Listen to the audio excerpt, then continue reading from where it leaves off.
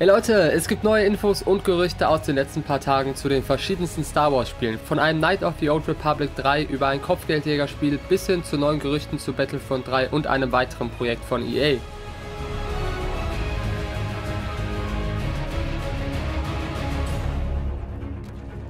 Zuerst wie immer der Hinweis, das meiste in diesem Video sind nur Gerüchte oder teilweise Leaks, aber damit ist trotzdem nichts offiziell bestätigt und in der Vergangenheit, vor allem eigentlich bei EA, sind ja schon mehrere Star Wars Spiele eingestellt worden, auch wenn sie sich schon recht weit in der Entwicklung befanden, also nehmt hier nicht alles direkt als bestätigt und sicher an.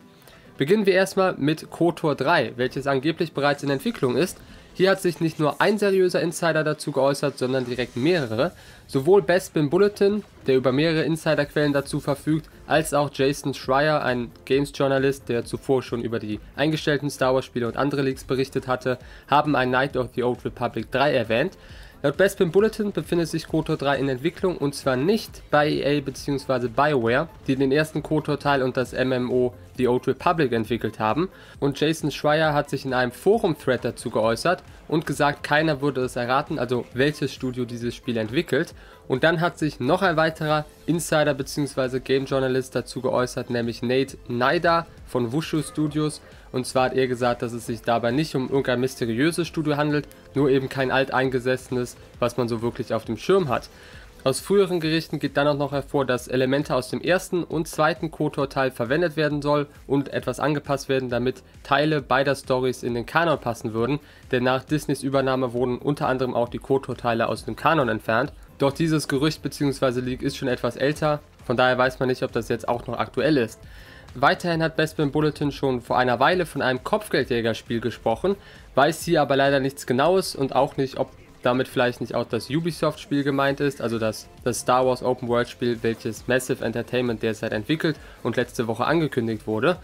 Generell sind jetzt mehrere Star Wars-Spiele Entwicklung meiner Meinung nach wahrscheinlich, nachdem Disney eben jetzt die Lizenz öffentlich gemacht hat, indem nun jedes Studio Star Wars-Spiele entwickeln darf, beziehungsweise eben nach Genehmigung durch Lucasfilm Games nur eben, dass EA nicht mehr die Exklusivrechte und Lizenz für Star Wars Spiele hat. Und dann kommen wir auch schon zu Battlefront 3. Hier nehmen die vermeintlichen Leaks und Gerüchte immer mehr zu und gefühlt hypt sich die Community immer wieder gegenseitig hoch, wobei hinter vielem nichts Handfestes oder Seriöses steckt. Und so sehr ich mir auch mehr für Battlefront wünsche, sei es ein Battlefront 3 oder eine Fortsetzung für Battlefront 2, sollte man es einfach realistisch sehen, damit man am Ende einfach nicht enttäuscht wird. Hier gibt es eigentlich nur eine interessante und seriöse Aussage und sonst meiner Meinung nach nur Fake Leaks. Jeff Grubb, ein weiterer Insider, sprach in einem Podcast eben über LucasArts Games und EA und hat gesagt, dass er glaubt zu wissen, dass alle EA Star Wars Reihen fortgesetzt werden. Damit wäre ja dann sowohl Jedi Fallen Order als auch die Battlefront Reihe gemeint. Yes, I think that I think every EA Star Wars game pretty much is going to continue. All the all the series are going like we'll probably we'll get another Battlefront. EA doesn't want to invest a lot in new games, like uh, totally new games. Uh, they, uh, they're not necessarily, and I think that was their big problem with Star Wars. Is like it takes a lot for them to get something off the ground. Näheres wusste er aber auch nicht oder wollte zumindest darauf nicht eingehen. Nur, dass EA eher daran interessiert ist, bestehende Reihen fortzusetzen, weil sie dann nicht komplett von neu anfangen müssen, weil es dauert, eine Grundidee von Grund auf neu zu entwickeln und man jetzt eben mit Battlefront und Jedi Fallen Order auch schon Erfahrung gesammelt hat. Also sehr interessante Aussage auf jeden Fall.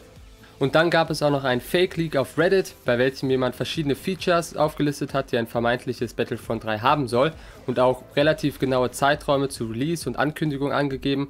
So sprach er davon, dass sich Battlefront 3 noch früh in der Entwicklung befindet, weil die meisten Mitarbeiter eben noch an Battlefield 6 arbeiten. Als Release nannte er das vierte Quartal 2023. Außerdem soll das Spiel die schnellen SSDs der neuen Konsolengeneration ausnutzen, was für mich eigentlich offensichtlich ist. Und das Spiel soll angeblich eine neue Richtung einschlagen und sich von den ersten beiden Teilen abheben und unterscheiden. Und dann nannte er noch den 20. April, wahrscheinlich für eine angebliche Ankündigung. Insgesamt halte ich aber nicht viel von diesem Post. Zum einen kann jeder einfach etwas schreiben und behaupten, da müsste es dann schon entweder Beweise geben oder eben etwas Glaubwürdigkeit von vorherigen Leaks, dass man dort richtig gelegen hat. Doch war dieser Post der erste des Reddit-Users und zum anderen auch komisch, dass eben die gängigen Insider noch nichts darüber berichtet haben. Wie dem auch sei, ich hoffe natürlich, dass wir irgendwann mal ein Battlefront 3 bekommen und bin mir da eigentlich auch relativ sicher, dass wir irgendwann mal in irgendeiner Art und Weise nochmal einen Battlefront-Teil bekommen nur eben denke ich auch, dass DICE frühestens nach Battlefield 6 damit beginnen würde. Dann sagte Bespin Bulletin auch noch, dass EA noch an einem weiteren kleinen Projekt arbeitet, bei welchem er aber nicht weiß, worum es sich da genau handelt, aber nicht glaubt, dass es sich um Battlefront 3 handelt.